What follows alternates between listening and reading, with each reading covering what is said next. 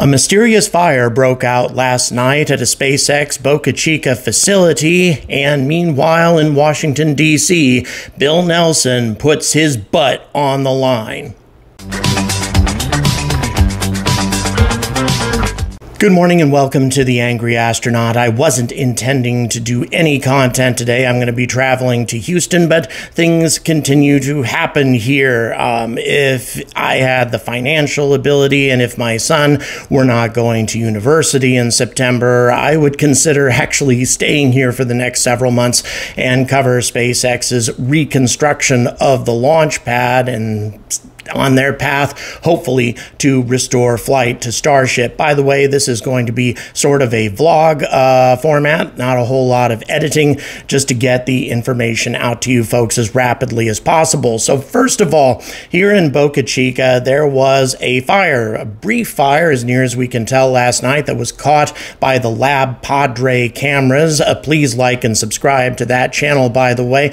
Uh, we have no information as to what caused it, but it was sizable. If you look at the massive column of smoke here compared to S25, which is undergoing testing, it was a sizable fire, although SpaceX seemed to get it under control and extinguished pretty rapidly. That having been said, though, it will be interesting to discover what exactly transpired there. By the way, if you're unfamiliar with this location, this is a separate facility that is located where the Massey's gun range used to be. Um, SpaceX bought this property some time ago and used it for some more sensitive testing. It's actually impossible to approach this area the way that you can approach other SpaceX facilities. It's on a private road and SpaceX keeps it strictly monitored and S25 is currently there undergoing testing. So, not sure what's going on there. We will update you as rapidly as possible. And meanwhile, in Washington, D.C., Bill Nelson was testifying in front of the House Science Committee. I'm going to provide you with a couple of quotes um, from that particular session because he was quizzed as to how confident he was about Starship being the sole HLS provider for Artemis and when it was likely to return to service. And Bill Nelson, let me tell you, really has put his butt on the line because when Elon Musk says one to two months, we're going to be launching in the summer whatever, he's not really answerable to anybody. But Bill Nelson is answerable to Congress when he makes commitments. And he said essentially the same thing that Elon Musk said that he expects that Starship will be returning to service in one to two months, which, once again, in my opinion, is completely impossible. We all know how quickly the FAA completes reports and studies, their analyses, etc., right? Yeah, sure, they're going to get that done in 60 days. And of course, Starship cannot launch until the FAA gives the go ahead. He made no mention of this whatsoever. Instead, he simply simply said that this is the way that SpaceX does things, which is true, um, and that he had, had every confidence that they would be launching again in the next couple of months.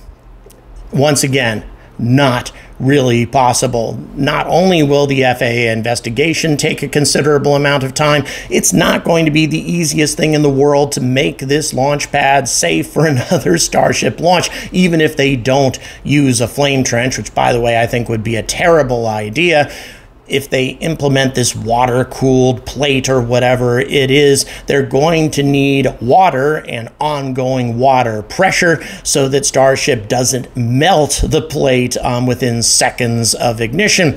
And you can't do that without a water tower or some sort of pumping facility. And you're not going to build something like that and get it approved from environmental standpoints, etc., in 60 days. I really have a hard time believing that Bill Nelson has drank the Kool Aid that Elon drinks from and is making a similar commitment. In addition to that, he also said that he expects that Starship will be uh, setting humans on the surface of the moon, that will be landing on the surface of the moon using Lunar Starship in 2025 that was a tough one to swallow as well. He was fairly confident, he said, in that schedule. Now, look, I know that Bill Nelson needs to keep an optimistic approach. He needs to put on a brave face, but he also needs to be realistic. At the very least, Bill, just go ahead and be a little cautious in what you say. That these dates are dependent on a lot of things and it could get pushed out considerably depending on how things go with Starship. But he said nothing of the kind. Instead, what he said was, I'm fairly confident, but there are still a lot of things that have to be done when he was talking about the landing dates. And incidentally, NASA is in danger of losing funding right now. The Republican House being committed to getting as many tax cuts as they can get while increasing the spending limit, the deficit that the U.S. government is in right now. NASA is one of the organizations on the chopping block, and Bill Nelson made it very clear that our landing on the moon would be significantly delayed if there were any cuts to NASA, or indeed if NASA did not get the spending increases that they require. So NASA is in a bit of trouble right now funding wise. Can you imagine the kind of trouble they're going to be in if none of these dates that he's talking about come to pass? If Starship doesn't return to flight for six months instead of two, or maybe even next year? I believe that that is not beyond the realm of possibility. As a matter of fact, knowing how government investigations tend to go, I think it's very likely that it's going to take that long. Difficult to believe that Bill Nelson has put himself in this kind of jeopardy with Congress. And finally, I'd like to say something about the general tone, the general spirit that tends to exist here in South Texas. I had an opportunity to speak to some more people who uh, work at a local t shirt shop um, about how people are reacting to the launch and what happened. And I must confess, there is um, a sense of concern from a fair number of people, especially the ones who got dust deposited on their cars, their houses etc. A lot of them believe that that dust is toxic, and even if it isn't, a lot of them are not going to be inclined to believe that any more than people tend to believe that you know toxic cleanups in other parts of the country have been taken care of and are not going to present any sort of health hazard to their children there's just going to be some problems I foresee here in the future as far as public relations are concerned, and that also could impact not only the FAA investigation, but also the U.S. Fish and Wildlife Service, who has to okay all of this as well.